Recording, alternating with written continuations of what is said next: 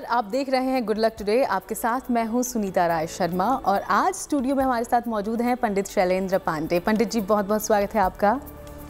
नमस्कार। तो आज के इस खास एपिसोड में हम बात करेंगे अहोई अष्टमी व्रत की जिसे करने से आपकी संतान का कल्याण होगा। लेकिन अहोई अष्टमी व्रत की महिमा क्या है? और इस व्रत को करने में कौन कौन सी सावधानियाँ बरतनी चाहिए, ये भी हम आपको बताएँगे। साथ ही साथ, वो महा उपाय भी बताएँगे, जिसे अपनाकर आप बड़ी से बड़ी परीक्षा में सफलता पा सकेंगे। तो चलिए शो की करते हैं शुरुआत और सबसे पहले देते हैं गुडलक मंत्र।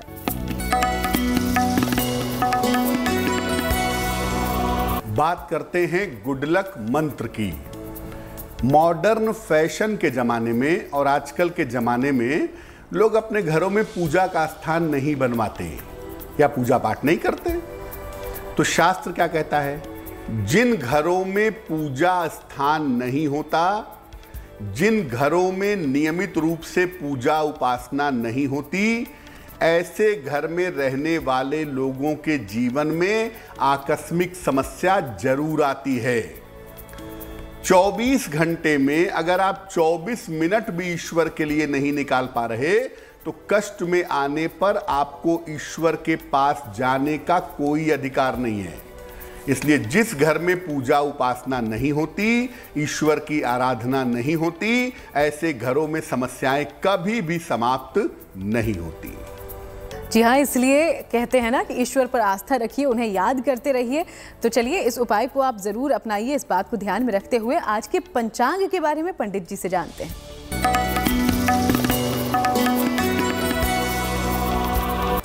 बात करते हैं पंचांग की। दिनांक 28 अक्टूबर 2021 दिन बृहस्पतिवार।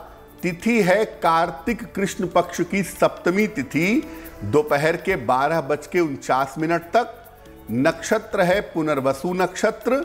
सुबह के नौ बजकर बयालीस मिनट तक चंद्रमा कर्क राशि में संचरण कर रहे हैं। राहु काल का समय दोपहर के एक बज के तीस मिनट से तकरीबन तीन बजे तक।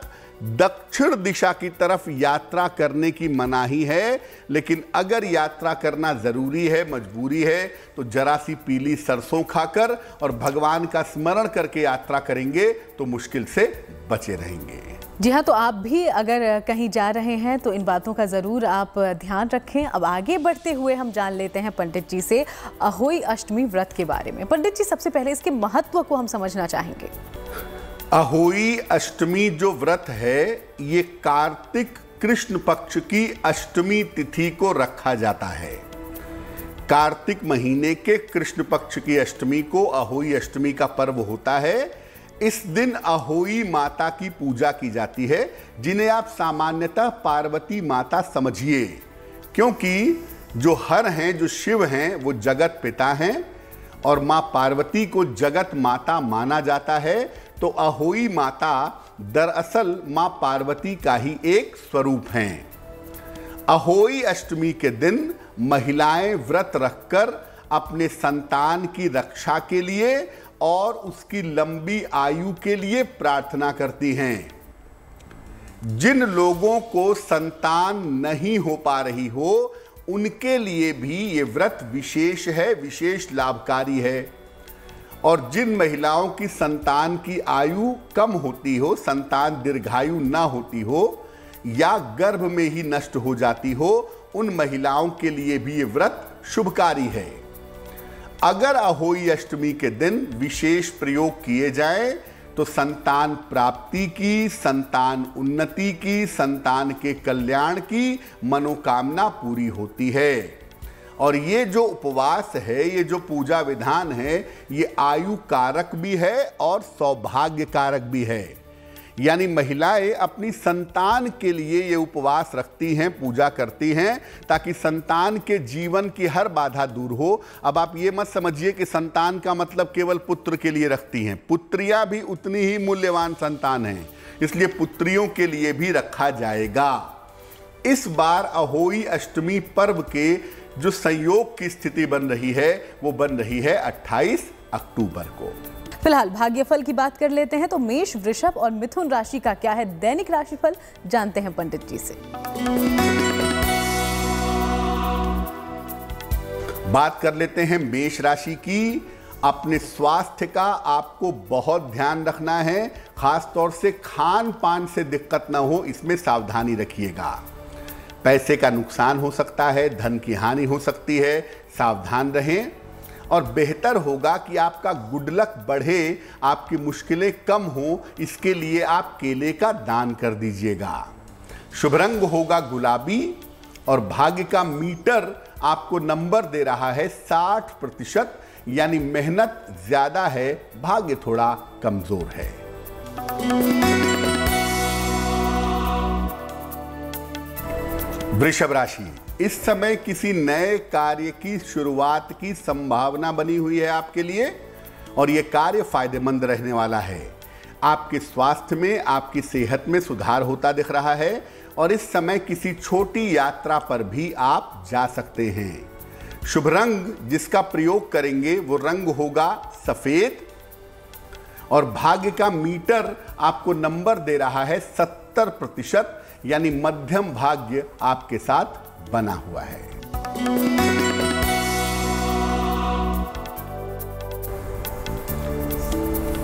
मिथुन राशि, मान सम्मान आपका बढ़ता जाएगा।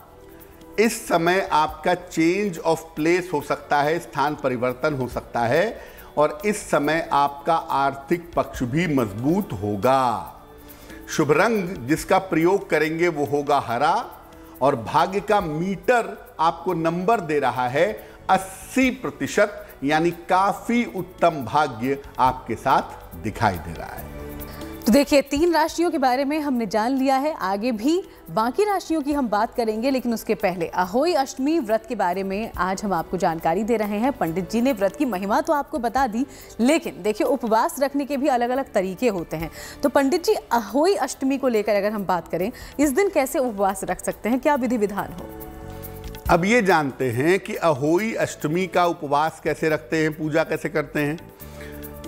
प्रातः काल स्नान करके अहोई की पूजा का संकल्प लिया जाता है और ये उपवास रखते हैं सूर्योदय से चंद्रोदय तक, यानी सूर्य उगने से उपवास शुरू होता है और जब चंद्रमा निकल जाता है रात में आकाश में, तब ये उपवास समाप्त होता है। इसके लिए अहोई माता का चित्र बनाया जाता है। गेरू से या लाल रंग से दीवार पर बनाते हैं और सूर्यास्त के बाद तारे निकलने पर पूजा आरंभ की जाती है। पूजा की सामग्री में एक चांदी या सफ़ेद धातु की अहोई होती है, चांदी की मोती की माला होती है, जल से भरा हुआ कलश होता है, दूध भात होता है, हलवा और पुष्प दीप आदि रखा जाता है। पहले जब शाम को तारे आकाश में निकल जाते हैं तो पहले अहोई माता को रोली, पुष्प, दीप अर्पित किया जाता है, उनकी पूजा की जाती है। उसके बाद उन्हें दूध भात अर्पित किया जाता है। फिर हाथ में गेहूँ के साथ दाने और कुछ दक्षिणा लेकर के अहोई की कथा सुनी जाती है। और कथा के बाद जो चांदी की मोती की माला है, ये माताएँ या महिलाएँ अपने गले में पहन लेंगी और गेहूँ के दाने और दक्षिणा अपनी सासू माँ को दे करके उनको आशीर्वाद देने के लिए कहेंगी और उनका आशीर्वाद लेंगी।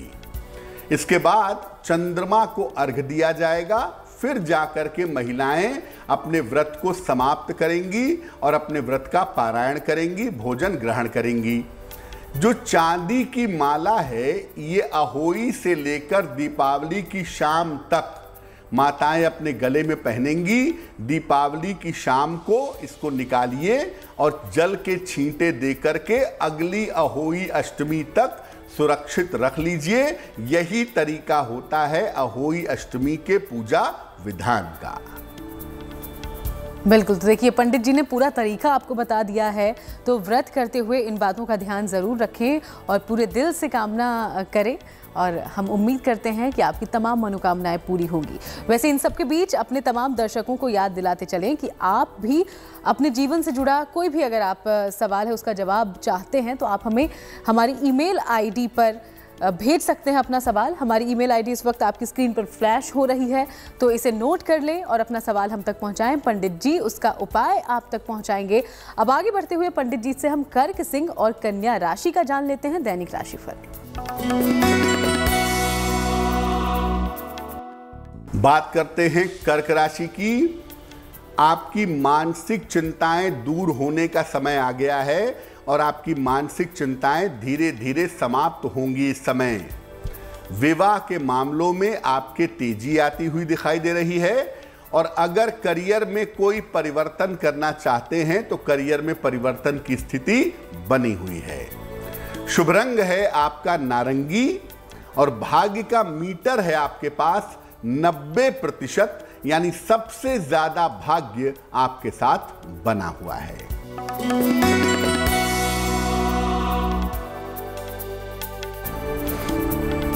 सिंह राशि। स्वास्थ्य का बहुत ध्यान रखिए। इस समय पैसा गिर सकता है, नुकसान हो सकता है, चोरी हो सकता है। धन हानि से बचाव करिए और भगवान को पीले फूल अर्पित करिए ताकि आपका गुडलक बढ़े, आपकी मुश्किलें कम हो जाएँ। शुभ रंग होगा आपका लाल और भाग्य का मीटर आपको नंबर दे रहा है। 60 प्रतिशत यानी मेहनत ज़्यादा है, भाग्य थोड़ा कम है।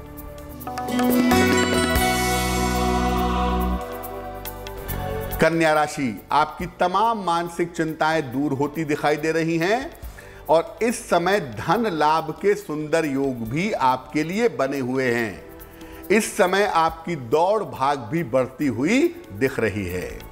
शुभ रंग जिसका प्रयोग करेंगे वो होगा हरा और भाग्य का मीटर आपको नंबर दे रहा है सत्तर प्रतिशत, यानी कुल मिला जुलाकर मध्यम भाग्य आपके साथ बना हुआ है। बिल्कुल।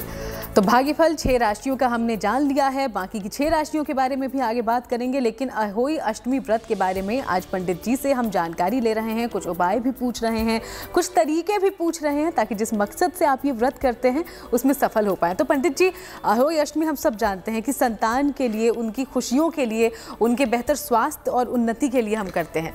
तो वो तरक्की अपने जीवन में पाए ये तो हर माता पिता का सपना होता है ना? ऐसे में अहोई अष्टमी पर क्या कुछ हम उपाय कर सकते हैं कि संतान के उन्नति माताएँ सुनिश्चित कर दें बिल्कुल, जैसा सुनीता ने कहा कि अहोई का जो पर्व है, वो संतान के स्वास्थ्य, आयु, उन्नति और सफलता के लिए रखा जाता है। ऐसे में संतान की उन्नति के लिए अगर आप अलग से कोई विशेष उपाय करना चाहें तो माताएँ क्या करेंगी? अहोई माता की जब आप पूजा करेंगी, अहोई अष्टमी की शाम को तो पूजा के दौरान दूध, भात और लाल फूल अर्पित करेंगी। इसके बाद लाल फूल हाथ में लेकर के संतान के करियर और शिक्षा की प्रार्थना करेंगी। संतान को अपने हाथों से दूध भात खिलाइएगा। ये दूध भात जो आपने अर्पित किया है, ये खीर नहीं है। चावल अलग बनेगा और दूध अलग से गर्म किया जाएगा, फिर दोनों को मिलाया जाएगा। ये दूध भात अहोई माता को अर्पित करने के बाद अपनी हाथों से अपने संतान को खिलाइए और फिर जो लाल फूल आपने अर्पित किया था, ये अपनी संतान के हाथों में दे दें और उससे कहें कि इस फूल को अपनी अलमारी में, अपनी टेबल के दराज में, अपनी किताबों में सुरक्षित रख ले अगले अहोई अष्टमी तक।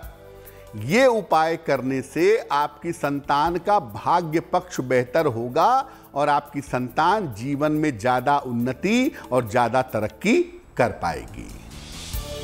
तो ये बेहद आसान और बहुत सुंदर सा उपाय पंडित जी ने बताया है ज़रूर इसको अपनाएँ। अब आगे बढ़ते हैं और अगली तीन राशि यानी कि तुला वृश्चिक और धनु राशि के दैनिक राशिफल के बारे में पंडित जी से जानते हैं। बात कर लेते हैं तुला राशि की।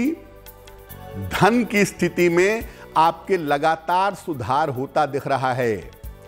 इस समय आपको संपत्ति का प्रॉपर्टी का फ़ायदा भी हो सकता है और इस समय आपका मान सम्मान बढ़ेगा, आपकी पद प्रतिष्ठा बढ़ेगी, ये संभावना बनी हुई है। शुभ रंग आपका पीला होगा और भाग्य का मीटर आपको नंबर दे रहा है, काफ़ी अच्छा आपका प्रतिशत है, भाग्य का 80 प्रतिशत।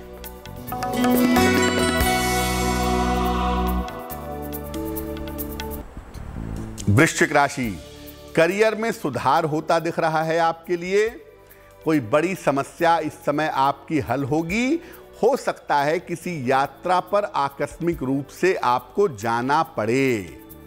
शुभ रंग आपका नीला होगा और भाग्य का मीटर आपको नंबर दे रहा है 75 प्रतिशत, यानी उत्तम भाग्य आपके साथ बना रहेगा।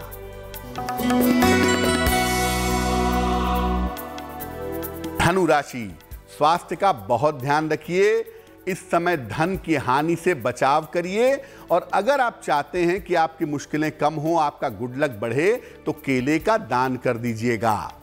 शुभ रंग होगा सुनहरा, और भाग्य का मीटर आपको नंबर दे रहा है 60 प्रतिशत, यानी मेहनत ज़्यादा होगी, भाग्य थोड़ा कम होगा। चलिए तो थोड़ी मेहनत ज़्यादा करनी पड़ेगी, लेकिन फल ज़रूर मिलेगा। चलिए, अब आगे बढ़ते हुए पंडित जी से हम आज के सवाल के बारे में जान लेते हैं कि सवाल कहाँ से आया है और पंडित जी, उसके लिए कुछ उपाय भी।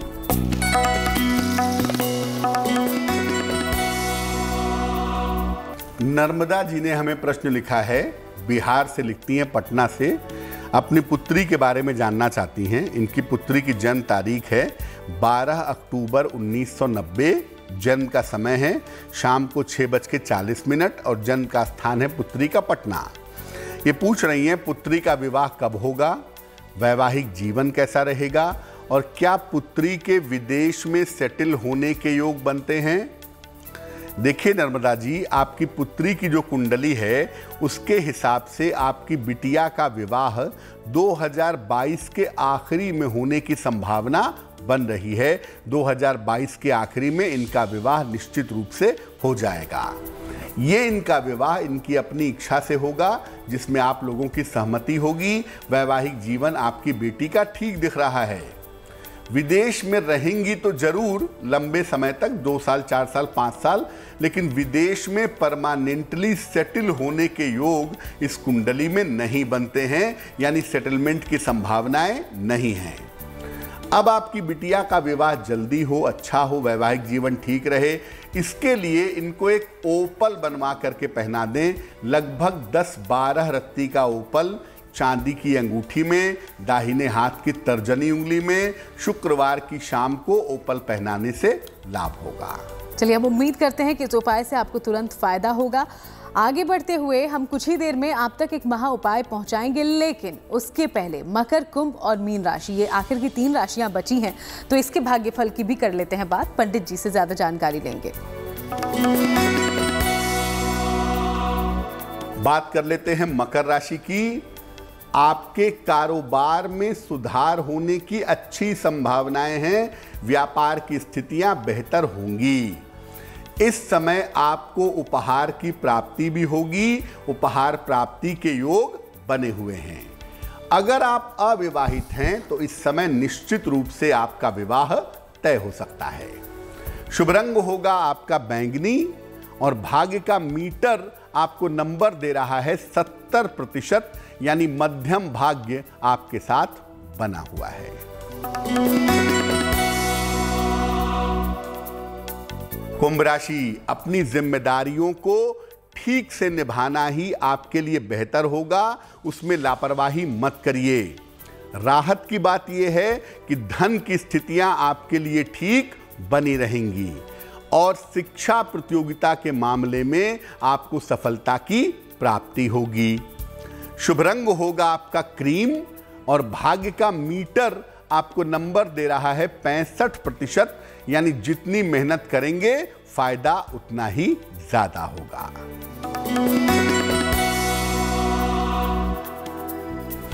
मीन राशि, धन लाभ के बेहतरीन योग बने हुए हैं और स्वास्थ्य की समस्याओं में भी इस समय सुधार होगा।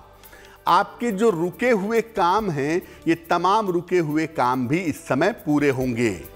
शुभ रंग होगा आपका गुलाबी और भाग्य का मीटर आपको नंबर दे रहा है पचहत्तर प्रतिशत, यानी उत्तम भाग्य आपके साथ बना हुआ है। तो दैनिक राशिफल हमने जान लिया है बारह की बारह राशियों का। अब आगे बढ़ते हैं और जान लेते हैं उन लोगों के बारे में जिनका 28 अक्टूबर को जन्मदिन है। सबसे पहले आपको जन्मदिन की बहुत बहुत शुभकामनाएँ। हम उम्मीद करते हैं कि आपकी जितनी मनोकामनाएँ हैं वो पूरी हो, लेकिन आपका भाग्य क्या कहता है, कुंडली क्या कहती है, ये जरा पंडित जी से जान लें। पंडित जी।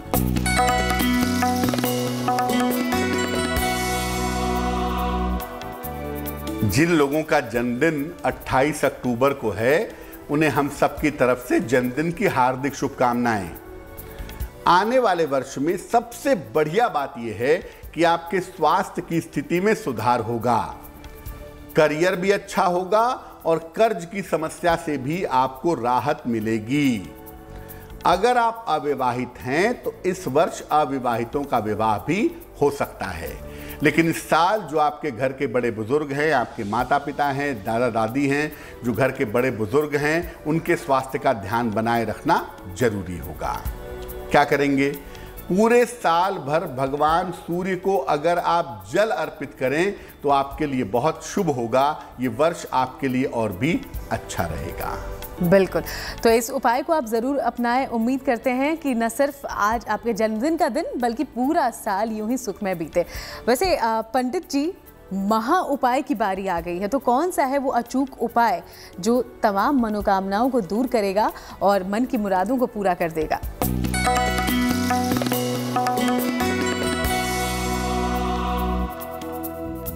आपकी कोई भी परीक्षा है, चाहे वो छोटी है, चाहे वो बड़ी है आप परीक्षा में सफलता पाना चाहते हैं, क्या उपाय करें? ये उपाय करिएगा, जिस दिन आपको परीक्षा देनी हो तो ये उपाय तुरंत इफ़ेक्टिव होगा। जिस दिन परीक्षा है, उस दिन सुबह सुबह 108 बार गायत्री मंत्र पढ़ लीजिएगा, नहीं पढ़ पाते, सुन लीजिएगा।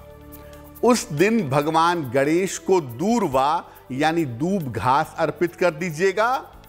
और जब आप परीक्षा में जाएँगे या परीक्षा में बैठेंगे तो वो दूरवा जो भगवान गणेश को अर्पित की थी इसको अपने बैग में अपने जेब में अपने बॉक्स में रख करके ले जाइएगा। जिस दिन आपकी परीक्षा है उसी दिन ये प्रयोग करने से आपको परीक्षा में सफलता ज़रूर मिलेगी। बहुत बहुत शुक्रिया पंडित जी आपका इस जानकारी के लिए। धन्यवाद।